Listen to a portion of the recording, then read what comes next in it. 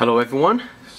Right now I'm going to um, explain how we can do dimensional analysis very easily. Now this topic has been the uh, uh, the struggle for a lot of students, and for who for those who cannot master this skill, usually find very difficult to uh, to succeed in chemistry course. So this tutorial is going to teach you and explain to you how we can do dimension analysis very very very easily. So let's look at this question. Convert 5 inches to centimeters. So whenever we are given a question like this, we are going to start off with what is given. So 5 inches and remember you keep all the significant figures. And then now you know that we're going to multiply some by some fraction. Okay it's a ratio it's a ratio. But how do we know what we what do we put in here? Well let's look at here. We're going to change from convert from inches to centimeters. So first what we need to know is that what is the relationship okay? What is the relationship between inches and centimeters? So if you go online or from a textbook you should find out that one inch is equal to 2.54 centimeters okay? And then well there are two possible conversion factor that we can make based on this relationship. It is either 1 inch over 2.54 centimeters or 2.54 centimeters over 1 inch. Now before we determine which one to put in here, let's look at what is this. What, is, what are these two conversion factors? So the reason why we can make this these two conversion factor is based on the fact that they are both equal to 1. How is that 1? Well, look let's look back to the relationship. 1 inch is equal to the 2 is equal to 2.54 centimeters. So they are equal to each other. This is what the equal sign tells us. And when we put them into a fraction, 1 inch over 2.54 centimeters or 2.54 centimeters over 1 inch. Well, either way, what you find out is that well 1 inch is equal to 2.54 centimeters. So although they look very differently, the numerator is equal to the denominator.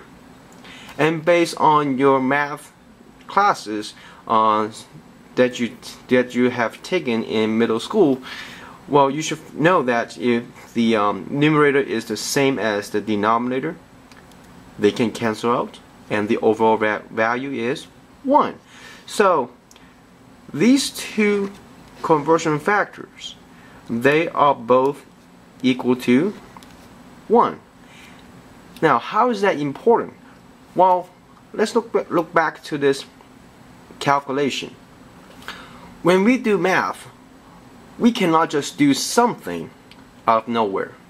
We can only do something that is based on those mathematical rules. And here, what we are actually multiplying is something which is equal to 1. And as you know, that anything multiplied by 1 is equal to itself, the number, the original number itself.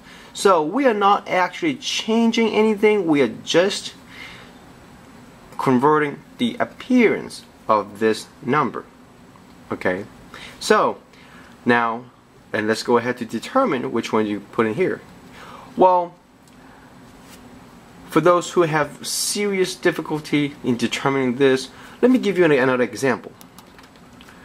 And I'm going to show it in parallel. So there are two calculations. And I'm going to put these two conversion factors to each one of these calculations. So let me put this one here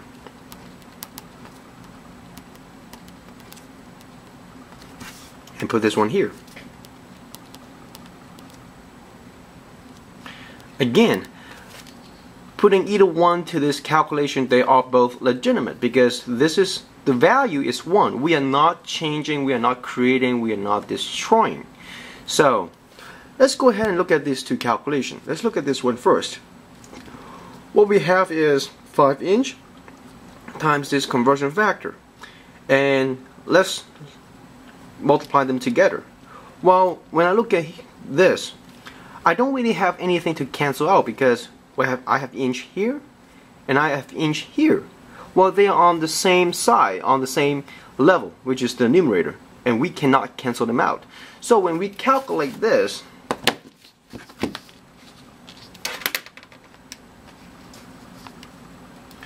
five times 2.54 is equal to 12.7.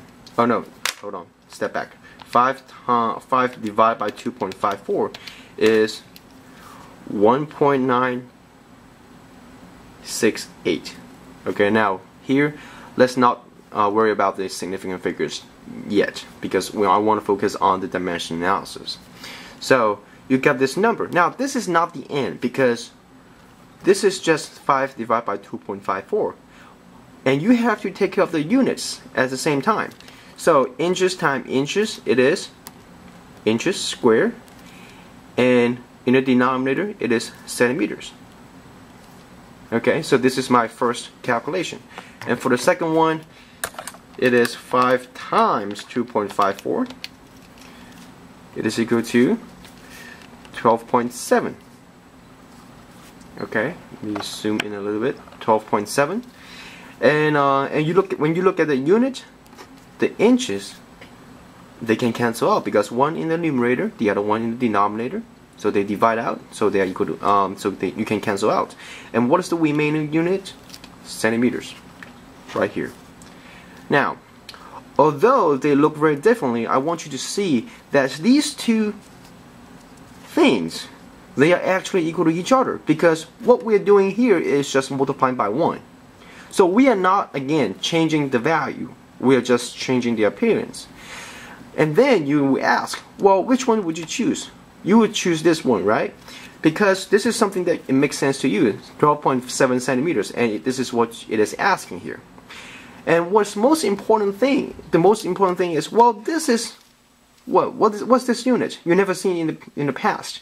So, it makes no sense to you, and this tells you that it is not the correct answer because the unit doesn't is not something that you would like to work with. So, so this would stress the point that you would really have to work with the units because a lot of students would not like to write down the units in when they're doing the math. But without the unit, you just have no way to check if you are correct or not. So please write down your units because it is going to guarantee you to get the correct answer. It's going to help you. Okay, teachers are not going to ask you to do something that is stupid. It is helping you to get the correct answer, helping you to see what's going on. So I hope this tutorial can help you out to to understand what is going on in dimension analysis.